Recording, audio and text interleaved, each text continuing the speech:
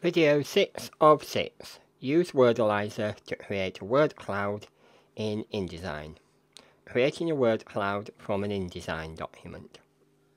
So in this video we'll look at how to create a word cloud from an InDesign document and how it can insert the word cloud into our document.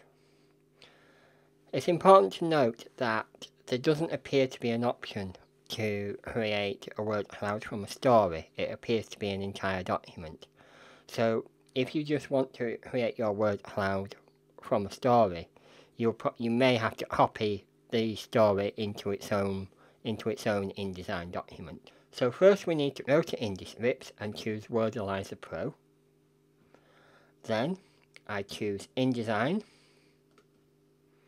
and it's English and then I click on OK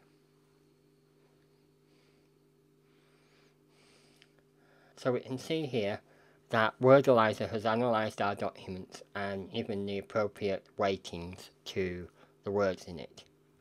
So I want to change the colour of this, so I want it to be deep blue, which is the same colour as the rest of the document.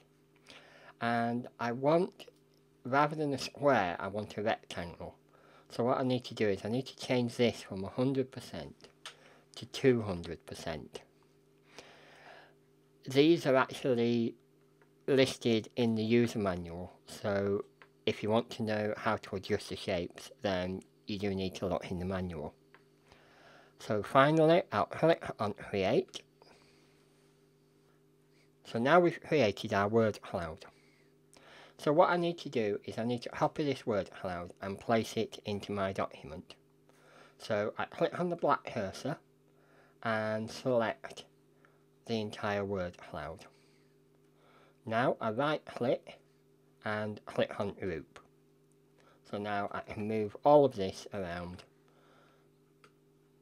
as normal. So now if I do a right click and copy, we come back to our document and then I do edit and paste.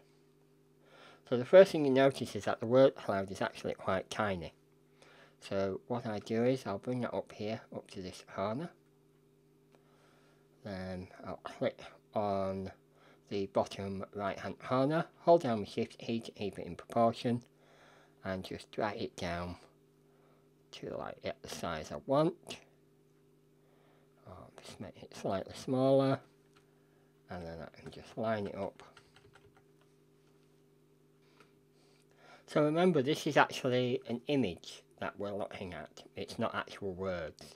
So if I come down into display performance and click on high quality display and just so I can see it properly if I click on preview and we can see now there's our document with our word cloud inserted.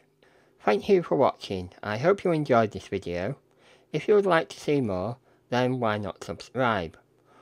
You can also visit our Facebook page or download a copy of the show notes from www.guidehat.org.uk.